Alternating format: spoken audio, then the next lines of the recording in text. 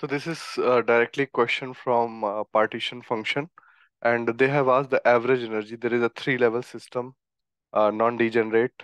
So simply uh, we have to calculate the average energy. So what I can do is I can write the partition function z is equal to uh, 1 plus e to the power minus 1 by kb t okay so uh, 1 by kb is uh, 0 0.086 into t is 300 plus e to the power minus 2 by 0 0.086 into 300 okay? So this is the partition function.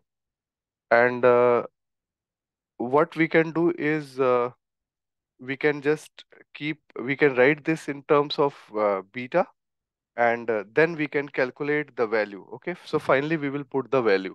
So in this way we will put the value okay? So let me write it.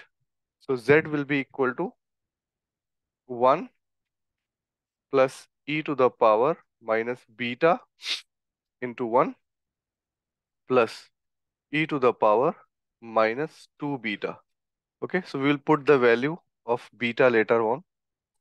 And uh, what is the average energy? It is minus 1 by z del z by del beta. Okay, so it will become minus 1 upon 1 plus e to the power minus beta plus e to the power minus 2 beta and uh, del z by del beta will be minus e to the power minus beta minus 2 e to the power minus 2 beta. Okay. So now when you put the value of beta, which is like this, beta is equal to 1 upon kbt.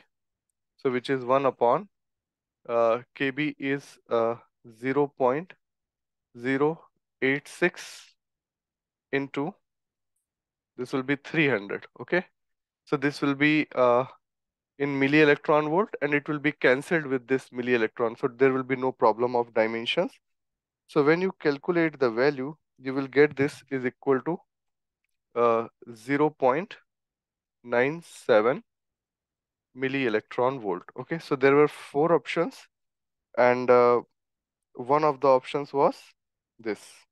And you can uh, make a little uh, guess also that because the ground level will will be more probable so energy will be towards uh, this zero okay?